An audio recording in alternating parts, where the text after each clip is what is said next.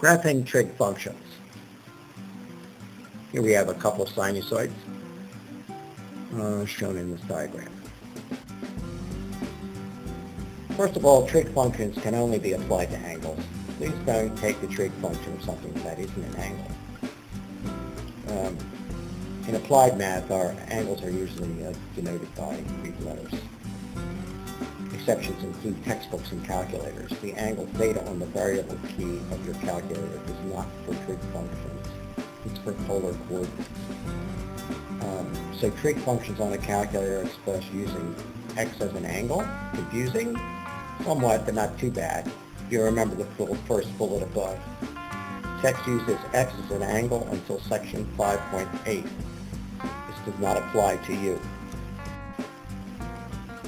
sine function graphs. Um, if you go to this website, it provides a nice interactive applet. Um, so you can take a look at that. Here's how you would use that sine applet.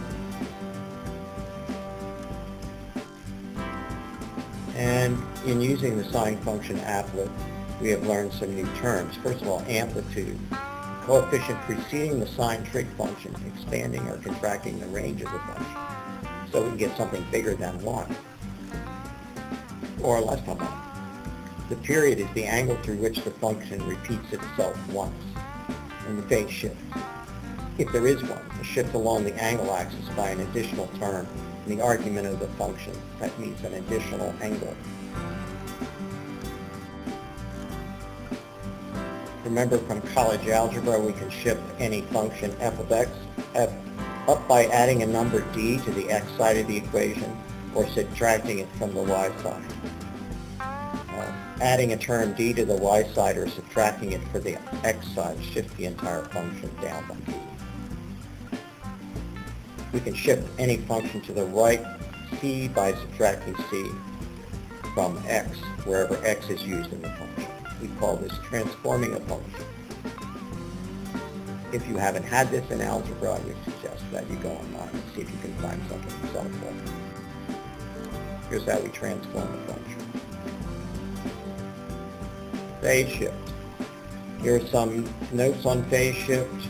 Um, we may or may not encounter phase shift. I think, I think I know in advanced ACDC but you can use this for a reference or you can um, you can go online and find some more information about phase shift that maybe is a little more elaborate and detailed than what I've given you here.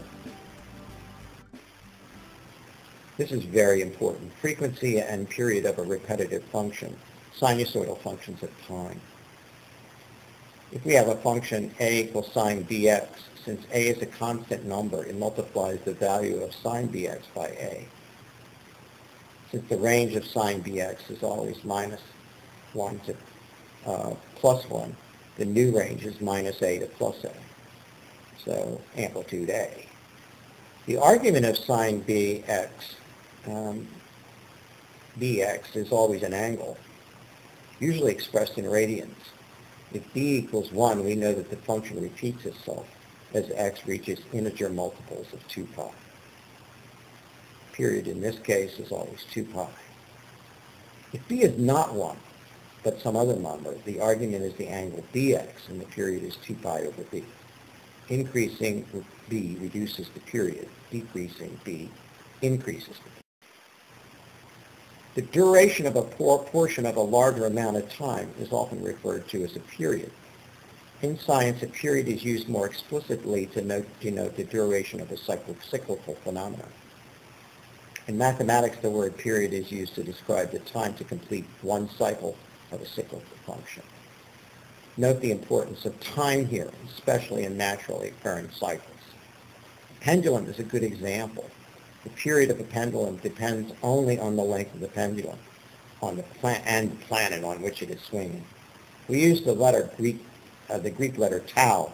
It's a capital T in English to note a period of time. Frequency is a measure of how often an event occurs. Most of us eat three meals per day. This is a frequency. The clock ticks at 60 ticks per minute. For sinusoids, we might say the cycle of the sinusoid occurs once each period, and the frequency is the number of cycles per standard unit of time. Many sinusoids in nature have periods much less than one second. Things very, happen very fast or very slowly in nature. In the past, frequency has often been measured as cycles per second. This measure was placed about 50 years ago with the unit hertz. One hertz is equal to one cycle per second. Frequency and period are direct reciprocals of one another. Period of 0.01 seconds for a cycle would correspond to 100 cycles per second, or 100 hertz. Everywhere in North America, electrical power is supplied as an alternating sinusoidal voltage with various standard amplitudes and a single standard frequency. This is a good example to use because it is used everywhere here for more than 100 years. Not true in Europe. There they use 50 cycles. Most home appliances, including your cell phone charger, require a voltage versus time function as follows. V turns out to be 201 sine 2 pi 60t, where 201, 201 is the peak voltage amplitude and 60 is the cycle frequency f in cycles per second, or hertz. Since t is time, it always increases and is always positive in our universe. Note that when t equals 1 second, the argument of the sine function is 120 pi indicate, indicative of having completed, since t equals 0, a total of 60 cycles or 60 complete periods. We could write this equation in terms of the period instead of the frequency with no effect on the result. So we could write it as v equals 201 sine 2 pi t over tau, where tau is a constant. So tau is 1 divided by 60 seconds per period. In this case, a is 201 and b is 120 pi and t is equal to x. Try plotting it on your calculator. You may have to adjust um, your window.